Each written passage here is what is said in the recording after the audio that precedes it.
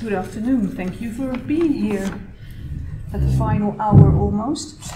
Um, uh, my job as a conservation technician is to make sure that archaeological data and artifacts of the city of Leiden um, are being deposited and I need to keep them safe and secure. Data and artifacts, for instance, can be requested for further research or to be put on display. My place within the archaeological process is at the very end, and I do this with my partner in crime, Barbara Gumbert, who is an archaeologist and organizer of this session. I'm going to sketch really fast. These are beautiful. Usually you don't, you don't see these pictures. Real fast uh, Dutch practice. When it comes to archaeology and my place within this field, archaeological research in the Netherlands is developer funded, which means that finances play a role in the process of making choices in excavation and post excavation.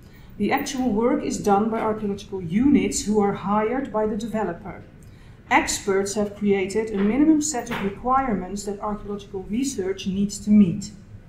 This results in a basic site report, and there is also supervision and enforcement to make sure that the set of requirements are met. Before any excavation can start, a program of demands is drawn up. Permanent storage of our data and archaeological artifacts is safeguarded by our government through the heritage law.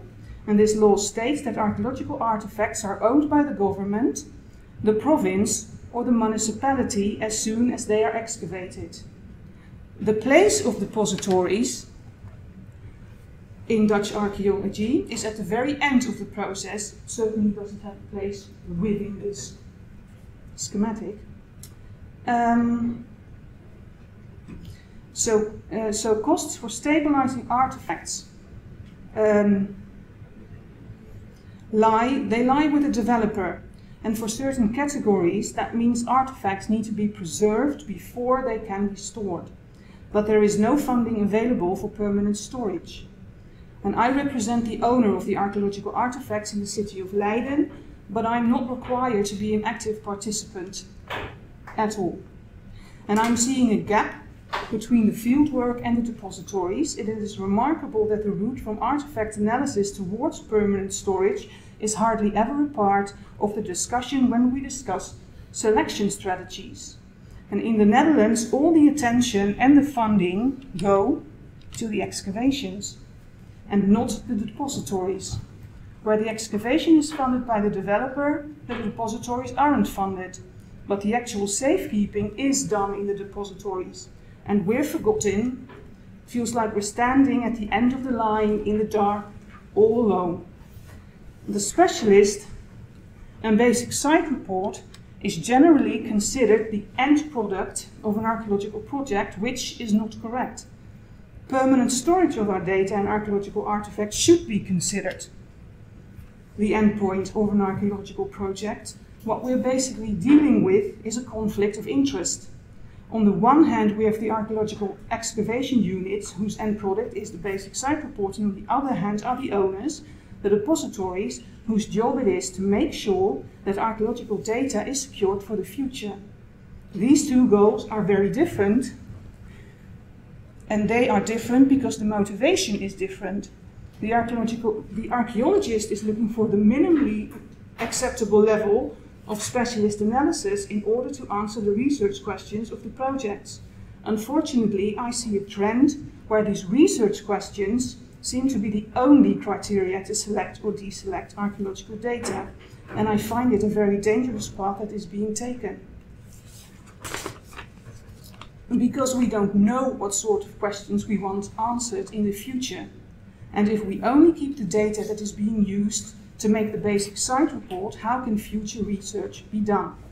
When the remainder of the data hasn't been stored, you can't examine it. And another issue I see happening is that the market seems to be collapsing under the weight of commercial pressure. The excavation companies are outbidding each other which can lead to cutting corners wherever possible and the minimal requirements are being undermined for lower costs. The owner has a different goal.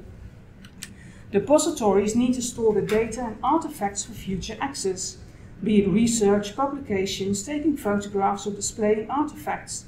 And let's not forget that archaeological results should be open and accessible to the public. It does not belong to archaeologists, it belongs to all of us. And therefore, it is of vital importance to keep as much data as possible. Not what is deemed enough for answering research questions we had during excavation.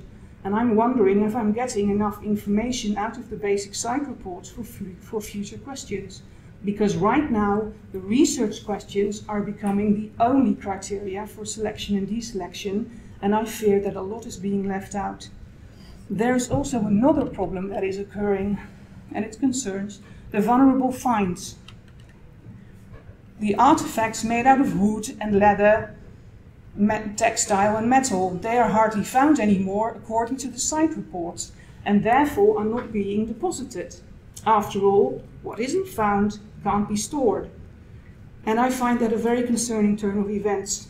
I also find it hard to believe that for many years all sorts of vulnerable finds were being uncovered, and now hardly any at all they require additional treatment before they can be deposited. And as I said earlier, one of the demands is that the artifacts must be stable when deposited. So costs for preserving the finds lie with the developer, costs that haven't been covered enough by the excavation units. And when vulnerable finds are found, I keep seeing in the site reports that these finds aren't of value to answer the research question and can therefore be deselected. Sometimes a lot of these artifacts are being uncovered at an excavation. In such a case, we're contacted by an excavation unit during excavation and or examination. And usually there is no money available for analysis, let alone for preserving these artifacts. And funnily enough, I never, ever have this discussion about artifacts that don't cost extra money.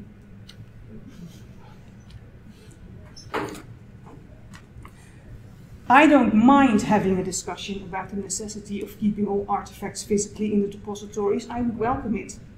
But I want to have it about all the artifacts and not the ones who happen to cost extra money. And I think it's a very valid question. Can the examination of artifacts give enough information for the future without keeping the physical artifact itself? And what does the examination look like? Look like there is nothing wrong with agreeing on a minimum set of requirements there is nothing wrong with being sharp and asking questions which minimal level is acceptable to safeguard the research results.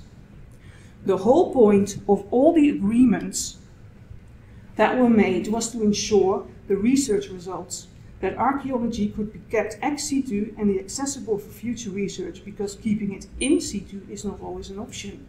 But we are starting to derail. It's not about safeguarding archaeology for future any longer, but about how excavations can be funded. And there is a lack of funding, and that actually shows in the results. And somehow we've become stuck in this self made world of rules that we've created ourselves. Now, I do not believe that this situation has been created on purpose, and I don't believe there is evil intent behind it. My experience with people who work for and within cultural heritage is that they do it with passion and heart. Uncovering, keeping, and passing on knowledge about our history is seen as important. But I do believe we've created this situation ourselves and that it is hard to get out of. And I've been thinking a lot about the question what can I do to make it better? The most important one for the depositories is to become visible in the process of archaeological research. Not only is it important for excavation units and specialists to know my depository and know what it is that I keep there and why I'm keeping it. It's also important for my employer to see all the data I'm keeping safe. All the artifacts tell a story of the city of Leiden, and how wonderful is it that we can tell these stories and share them with the rest of the world. Give yourself a valid reason why you exist. It is good for funding as well. We just started to work together with the depositories of different municipalities, standing strong together. And it's such a shame and a missed opportunity that the depositories don't really know each other. We just started with the initiative to begin a platform, and the time seems to be right. Permanent storage is finally becoming big, big news in the Netherlands at least. We are hoping to do with the other deposit, what we are hoping to do with the other depositories is to start a discussion within our community about the earlier involvement of depositories, and that's a first. Collaboration with direct colleagues is another thing I did to make things better. By building a better and clearer working relationship with them. They supervise and enforce the set of requirements that have been determined in a program of demands. We use this document to make the requirements for permanent storage clear.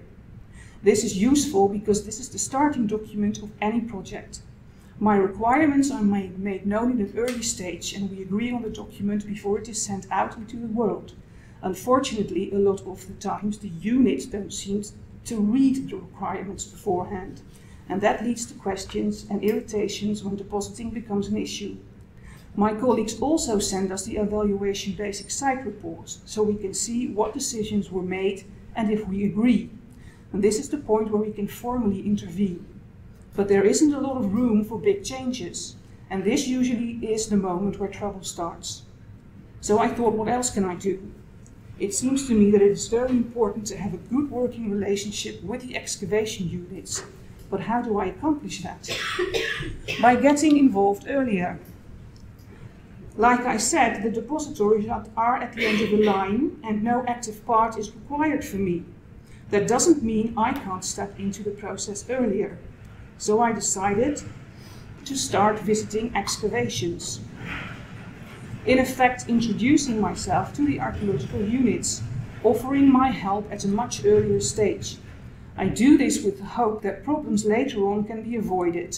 Talking to people and getting to know them is a much better basis for a working relationship than only communicating through email, for instance. Not only do I get to see the human behind the work, but they get to see the human behind the depository, and in this case, that's me. Um, I recently visited an excavation where several reused wooden wine barrels with markings were found a beautiful find, but also a difficult one. It is a fragile find and it will cost money to preserve because we're talking about a lot of wooden staves. The markings are important because we don't really know what they mean. We haven't found a lot of them in Leiden. Two minutes.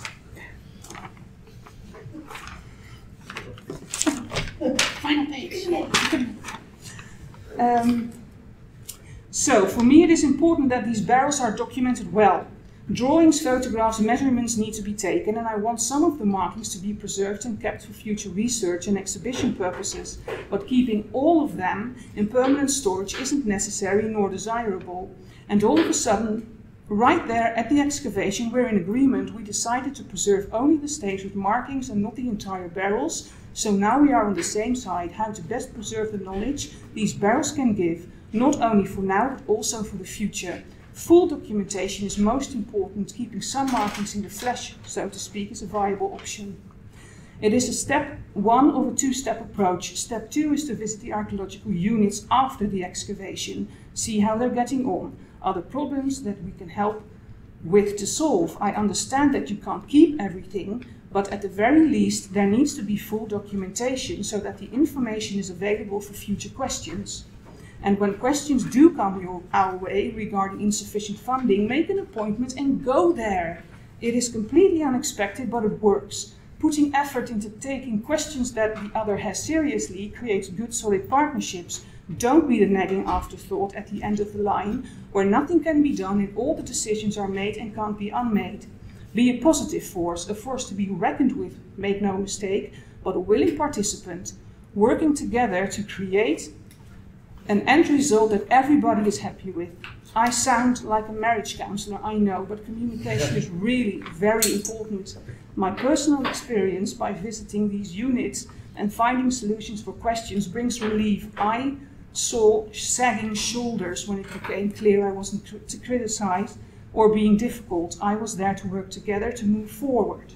But this is still a work in progress, and we only started it this year. And most importantly, Let's discuss not just selection for analysis, but take it a step further.